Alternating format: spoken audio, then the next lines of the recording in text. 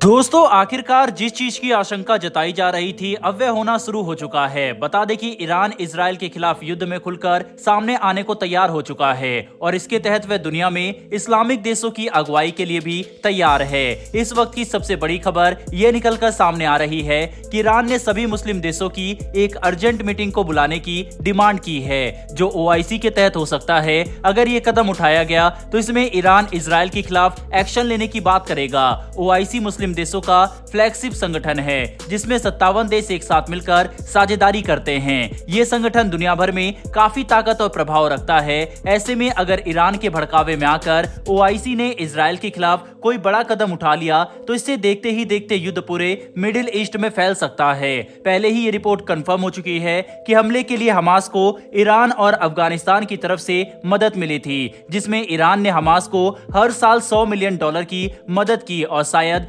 योजना बनाने में भी मदद की थी। इसके अलावा अफ़गानिस्तान में तालिबान की तरफ़ से हमास को कई अमेरिकी एम राइफल सप्लाई की गई, जिसका इस्तेमाल करके हमास के आतंकवादियों ने सैकड़ों यहूदियों की जान ले ली। वैसे तो यह अमेरिका का भी एक काफ़ी बड़ा फेलियर है। लेकिन यहाँ पर हम अभी उस एंगल की तरफ़ ज़्यादा नहीं जाएँगे, क्योंकि ईरान और हमास के बीच में लेबनान पहले ही कूद चुका है। हिजबुल्ला द्वारा उठाए गए एक्शन के बाद इसराइल की वायुसेना लेबनान पर हमले कर रही है। ऐसे में अब ईरान का खुलकर मुस्लिम देशों की मीटिंग को बुलाने की बात कहना दुनिया में कूटनीतिक गतिविधि को बढ़ावा दे सकता है, क्योंकि पश्चिमी देशों के साथ साथ भारत और दर्जनों एशियाई देश इसराइल के साथ खड़े हैं। वहीं पर एक ऐसा वाक्य भी देखने को मिला जो काफ़ी इंटरेस्टिंग है, क्योंकि यूरोपियन यूनियन ने हमास द्वारा इसराइल पर किए गए हमले के बाद फिलिस्तीन को लगभग 800 मिलियन डॉलर की विकास सहायता देने से मना कर दिया था। आप बिल्कुल सही सुन रहे हैं, ये डेवलपमेंट फंड यूरोपियन यूनियन फिलिस्तीन को देता है, ताकि ग्राउंड लेवल पर विकास कार्य किया जा सके।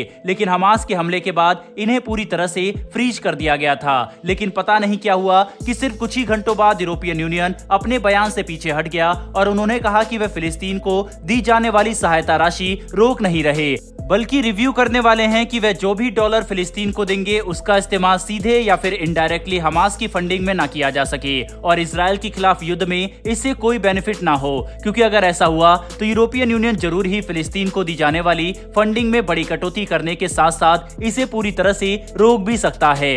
इसके अलावा बात करते हैं अमेरिका के बारे में तो इसराइल और अमेरिका की पार्टनरशिप कितनी मज़बूत है, ये बात हम सभी जानते हैं। और अपने भरोसेमंद साथी इसराइल की मदद के लिए अमेरिका खुलकर सामने आता दिखाई दे रहा है। पहले ही अमेरिका ने अपने सबसे एडवांस एयरक्राफ्ट कैरियर को भूमध्य सागर में शक्तिशाली हथियारों के साथ तैनात कर दिया है, ताकि अगर किसी भी हालत में कोई दूसरा देश इसराइल के खिलाफ कार्रवाई करने के बारे में सोचे तो उन्हें अमेरिका की मिलिट्री पावर का अंदाज़ा हो जाए, जिससे इस बात की उम्मीद काफ़ी कम हो गई है कि कोई दूसरा देश इसराइल पर हमला करेगा।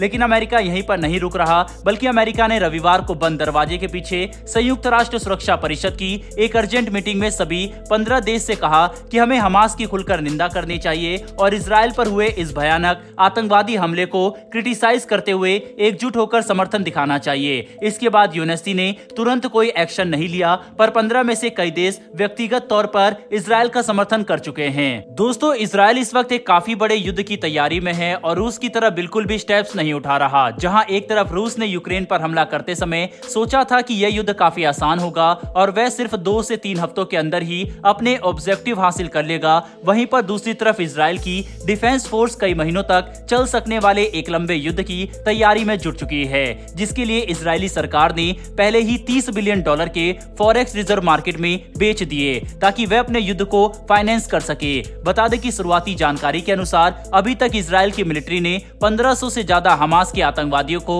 मार गिराया है और इसराइल में जो आतंकवादी घुसे थे, उनका पूरी तरह से सफाया करके अपने हिस्से पर कंट्रोल वापस से हासिल कर लिया है। इसके अलावा, इसराइल की नौसेना भी गाजा पट्टी के कोस्टल इलाकों पर हमला करना शुरू कर चुकी है। साथ ही इसराइल ने ये बात भी खुलकर कही है कि अगर फिलिस्तीन के लोग जा सकते हैं तो उन्हें गाजा पट्टी छोड़कर इजिप्ट चले जाना चाहिए। कुल मिलाकर समझने की कोशिश करें तो इस वक्त पूरी दुनिया से इसराइल को समर्थन समर्थन मिल रहा है, जबकि मुस्लिम देश एक ब्लॉक बनाकर इसराइल के खिलाफ खड़े होने की तैयारी में है। ऐसे में इस बात का डर सबसे ज़्यादा है कि कहीं यह युद्ध एक विश्व युद्ध में ना बदल जाए। खैर दोस्तों, आपको क्या लगता है कि यह युद्ध और बड़े युद्ध में कन्वर्ट हो सकता है या फिर नहीं? अपनी राय कमेंट बॉक्स में लिखकर ज़रूर बताइएगा। साथ ही हमारी आने वाली डेली ऐसी वीडियो के लिए चैनल को सब्सक्राइब कर बेल नोटिफिकेशन अवश्य दबा ले, जिससे हमारी आने वाली डेली ऐसी वीडियो आप तक सबसे पहले पहुँच सके। फिर मिलेंगे ऐसी एक नई वीडियो के साथ। धन्यवाद। जय हिंद।